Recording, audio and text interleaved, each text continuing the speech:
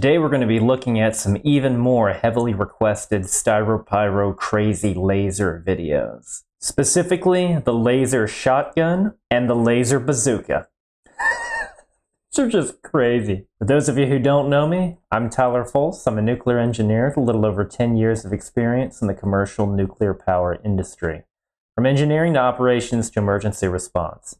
I don't claim to know everything there is nuclear, but I can certainly share some knowledge. We're going to start with the laser shotgun. 40 watts it says, which is insanely high for a laser. Hey YouTubers! Now where do I even begin? I just built something so crazy that I'm almost afraid to use it. So this is my 40 watt laser shotgun.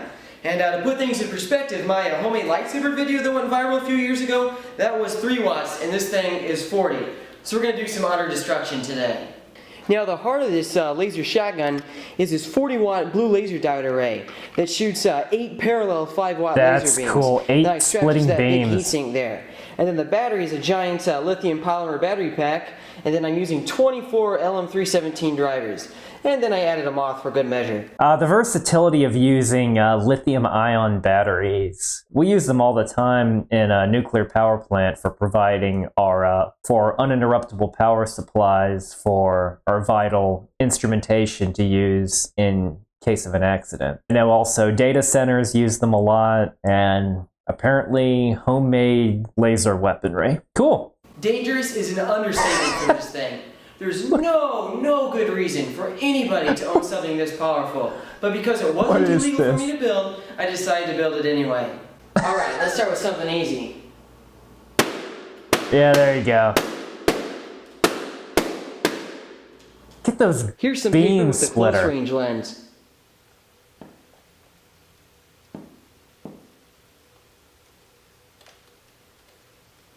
Some trimethyl trimethylborate and methanol solution. I love it when he does that solution. Interesting the different approach of splitting them, of it kind of being splitting them outward rather than combining them, like in a similar way that certain types of nuclear fusion experiments go. Though, granted, those lasers are on the order of megawatts, which is so, so crazy. Here's some black powder. Pop, yep. Ping pong ball.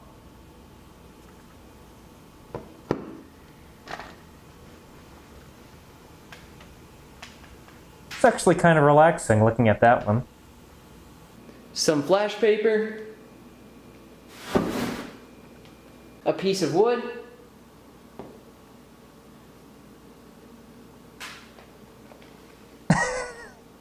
Just Well, that's enough of this craziness. Until the next time, stay safe and happy lasing. You would think I would get bored of seeing him zap stuff with lasers, but no, it's actually very relaxing and just cool how silent it is compared to a lot of blasters you see in Star Wars, which, by the way, aren't actually lasers. They they just use the term laser a lot in that show, but really it doesn't have characteristics at all compared to an actual laser. It's more of a plasma weapon. Anyway, time for the laser bazooka. Hey everybody! Now I feel like I say this a lot, but I just finished building my most terrifying device yet. So this right here is my 200 watt laser bazooka. 200 watts. Now just to give you a scope of things, this laser pointer right here is 0.005 watts. Yeah. That's at the FDA limit where a quick flash of the eyes shouldn't do any eye damage. If you want to see my reaction to his super crazy upgraded laser pointers where he got to over 3000 milliwatts, which is absurdly high for something that'll that'll fit in your hand so neatly like that, I will pin that in a comment below. Now this laboratory laser right here is 0.5 watts, which puts it at the highest danger safety rating for Yeah. a laser, which means that just looking at the spot on the wall can give you eye damage. And then this baby right here sits at 200 watts, which means it's 400 times over the most dangerous rating imposed by the FDA. Need class S lasers, S for styropyro. Forget class 4. Without further ado, let's play with this thing. I built this laser bazooka almost completely out of scrap parts and broken electronics. Oh, I like that he keeps he kept the fire diamond on there, and yep, that symbol means uh means radioactive material because lasers are in fact radioactive. So the casing of the gun is built out of scrap metal that I cut down with a file and hacksaw. And yes, that took a long time. And then the heart of the gun are these uh, four 50 watt blue laser diode banks that I ripped out of some uh, broken DLP projectors that I scored off of Okay, eBay. so 450 And watts these to parts give you right the here 200. are called knife edgers. They're uh, optical components that uh, combine the individual laser beams from the laser diodes to make a more homogenized beam.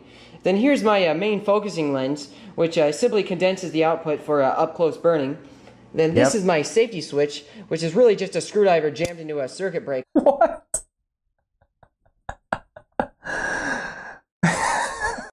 Why? Just gotta show a little bit of class there with your screwdriver in there as your safety switch. Here's what I typically think of when I think of a safety switch on a breaker, clearly visible from at least 20 meters away that, hey, here's the emergency, turn this thing off, stop the craziness from happening. Switch. That screwdriver is amazing. Then, of course, I also decided to add a uh, lepidopteran amplifier, because you can't have a good uh, laser gun without one of these. And keep in mind, any of these, like you mentioned with the lab laser, none of these, whether it be the shotgun he used earlier or the uh, bazooka he's using now, as a handheld, any lasers that there are lasers that are this powerful or much more powerful in the case of a uh, of uh, nuclear fusion experimental reactors, but those are bolted in place. Everyone has to go through specialized laser training just to set in foot with the room in the same room with it, let alone actually operate the thing. There's additional, there's various levels of laser training you uh, you need to take, but this is just, just crazy. Is that a moth? This thing is so unbelievably dangerous to operate, I had to build this. It's simply a uh, welding mask with laser goggles fit into it. That way I don't go blind when I'm using the laser. Alright, let's fire this thing up. Hit the safety switch. The power output on this thing is insane. Blue square fact, of doom. the eyes would be 33 million times more intense than staring into the sun. And actually, I'm pretty sure that this is the strongest believe portable it. laser that's ever been built by a hobbyist. So that's pretty awesome. And man, it just feels like I'm holding a bolt of lightning in my hands. This is definitely my new favorite toy.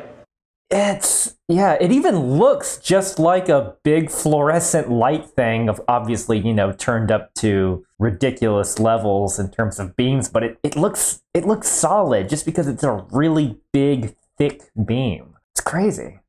Usually I'm Let's shoot through this used to lasers focusing in on something. There you go.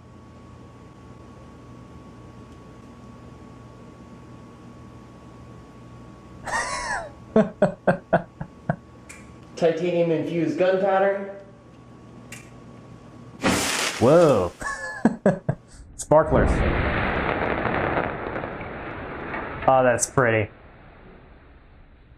A block of wood. Of course.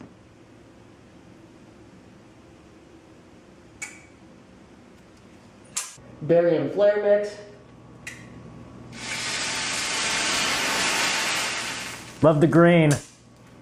A cardboard box. Oh, that's gonna burn.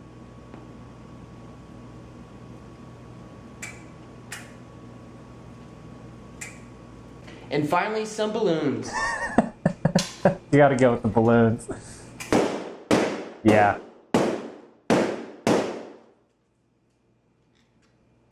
Which one of those would you like? Or both? Or neither? Because there's completely crazy. Man, that that bazooka one though, it really does look like a more solid beam in that these are crazy and no, you wouldn't use any tools like this at a nuclear power plant. But thank you so much for the recommendation. It's always fun to bear witness to the insanity on Styropyro's channel. Thank you very much for watching. I'll see you next time.